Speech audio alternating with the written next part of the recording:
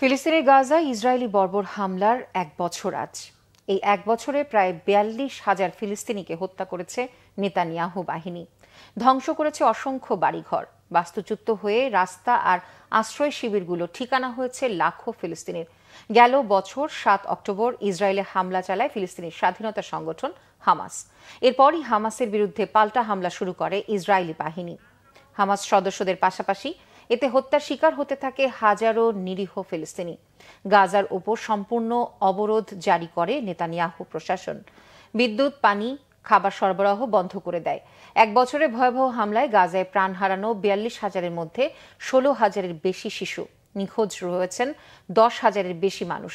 ধ্বংস হয়ে গেছে গাজার ষাট শতাংশ অবকাঠামো। উপত্যকার আটষট্টি শতাংশ সড়ক নষ্ট হয়ে গেছে। ছত্রিশটি হাসপাতালের মধ্যে ইতোমধ্যে বন্ধ হয়ে গেছে উনিশটি। যে কটা আছে চলছে কোনো রকম। গাজার মোট বাসিন্দার নব্বই শতাংশ বা উনিশ লাখ মানুষ বাস্তুচ্যুত হয়েছে। পশ্চিমাদের সহযোগিতায় এখনও হামলা অব্যাহত রেখেছে নেতানিয়াহু বাহিনী। এদিকে গেল দুই সপ্তাহ ধরে ইসরায়েলি বাহিনী লেবাননে হিজবুল্লাহ গোষ্ঠীকে লক্ষ্য করে হামলা চালাচ্ছে। রোববার লেবাননের বৈরুত সহ বিভিন্ন স্থানে চলে ইসরায়েলি বোমা বর্ষণ। ইসরায়েলে পাল্টা হামলা চালিয়েছে হিজবুল্লাহ যোদ্ধারা।